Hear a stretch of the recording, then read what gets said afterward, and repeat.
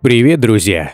Евгений Петросян – артист, юморист, телеведущий. Много лет подряд он был ведущим «Смеха панорамы», руководил юмористическим театром «Кривое зеркало». В этом театре артист не раз исполнял главные роли. Он запомнился благодарным зрителям как яркий обаятельный актер, умеющий рассмешить даже самых угрюмых, пессимистично настроенных людей. Евгений Петросян – настоящий мастер своего дела, сумевший заработать себе имя и состояние. Но для начала подписывайтесь на канал, не забывайте ставить лайк, а мы расскажем, как живет Евгений Петросян и сколько он зарабатывает.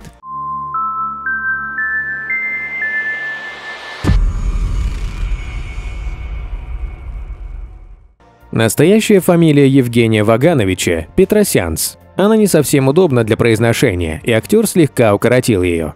Он родился в Баку 16 сентября 1945 года. Его отец, Ваган Миронович, был известным педагогом, преподавателем Азербайджанского пединститута.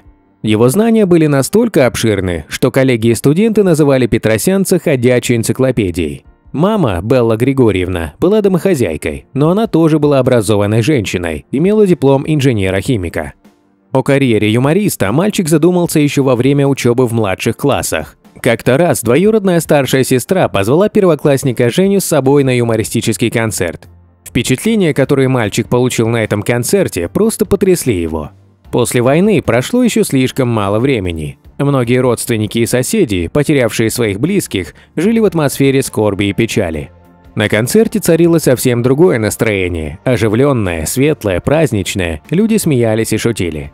Мальчик был потрясен. Он понял, что тоже хочет стать юмористом, да таким, чтобы только одно его присутствие веселило и радовало окружающих. О своих мечтах он тут же рассказал родителям. Нельзя сказать, что они обрадовались решению маленького Жени, но они были мудрыми людьми и не стали мешать сыну. Уже в 12 лет Петросян стал активно развивать свой актерский талант. Он играл в кукольном, народном театре, выступал в роли конферансье, разыгрывал небольшие сценки из оперет. Врожденные артистические способности, подкрепленные неустанной тренировкой, постепенно превращались в яркий талант. В 16 лет юноша решился кардинально изменить свою жизнь. Он мечтает о получении хорошего образования. Это можно было сделать только в Москве. Молодой человек уезжает в столицу, где ему удалось без всяких проблем стать студентом Всероссийской творческой мастерской эстрадного искусства. Молодой человек делает большие успехи. Уже через год он стал выходить на профессиональную сцену. Чтобы повысить свое мастерство, Петросян поступает учиться в ГИТИС. В 1985 году получает диплом об окончании этого вуза. Он приобрел специальность театрального режиссера. Уже к 70-м годам комик становится известным конферансье, но его интересует и личный успех. Для этого у молодого юмориста есть все данные – яркий талант, выразительная внешность, неиссякаемое трудолюбие. С 1975 года он ставит собственные спектакли на базе Московского театра эстрады. Совсем скоро зрители увидят целый ряд спектаклей Петросяна. Этот комик предпочитает работать в разных жанрах. Он читает фильетоны, разыгрывает перед зрителями небольшие сценки, создает музыкальные пародии, предстает перед зрителями в роли эстрадного клоуна. Его талант поистине безграничен. Выступление Петросяна нравится широкой аудитории, получает положительные рецензии от критиков.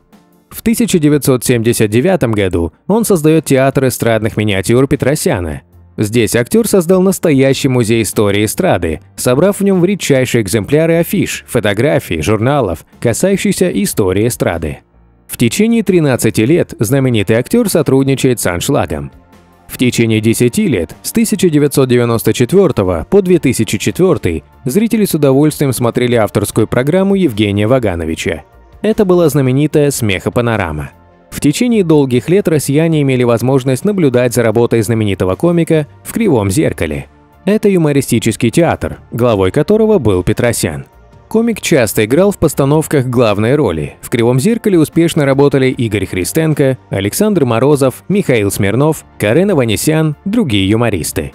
Евгений Петросян не считает свою творческую карьеру завершенной. Он не любит почивать на лаврах. Артист стал активно осваивать новые технологии, завел аккаунт в Инстаграме.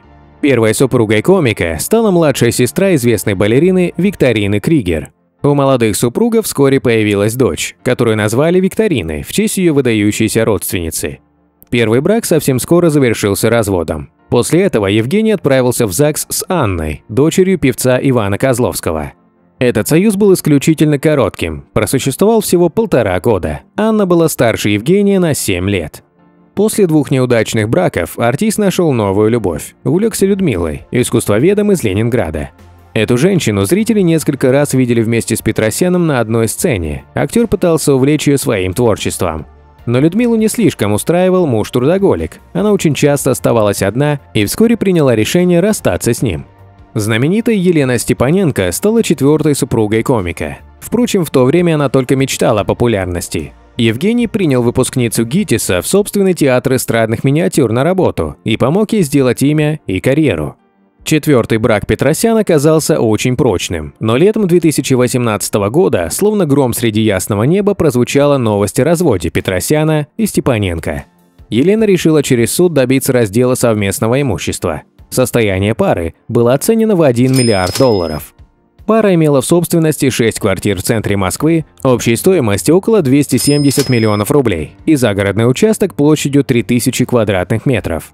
На этом земельном участке построен коттедж площадью 380 квадратных метров за 150 миллионов рублей. Супружеская жизнь этих людей закончилась 15 лет назад. Каждый из них давно живет своей жизнью. Скандал с разделом имущества спровоцировала Елена, которая рассчитывает получить собственность 80% совместного имущества. Возможно, женщине просто обидно, поскольку ее бывший муж увлекся молодой особой, своей ассистенткой Татьяной Брухуновой, в конце декабря 2018 года Татьяна впервые прокомментировала ситуацию. Брухунова подтвердила отношения с Петросяном. При этом девушка отметила, что роман начался в 2013 году, но она не уводила юмориста из семьи, так как супруги на тот момент уже много лет не жили вместе. Спустя пару месяцев стало известно, что Евгений Ваганович купил ассистентке квартиру, в которой была оборудована детская. В конце 2019 года Петросян женился на своей возлюбленной. В марте 2020 года в клиническом центре Дубая у супругов родился ребенок. Мальчика назвали в честь дедушки – Ваган. В настоящее время, несмотря на преклонный возраст, Евгений Петросян продолжает развивать творческую карьеру. В эфире канала «Россия-1» по-прежнему выходит рейтинговая программа «Юморина», в которой Петросян демонстрирует новые номера.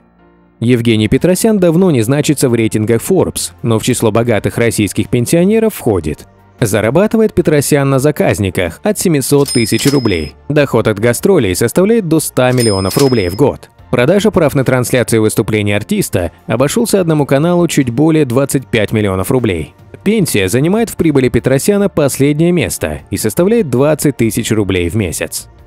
Друзья, давайте пожелаем артисту много-много счастья, отменного здоровья и всевозможных благ.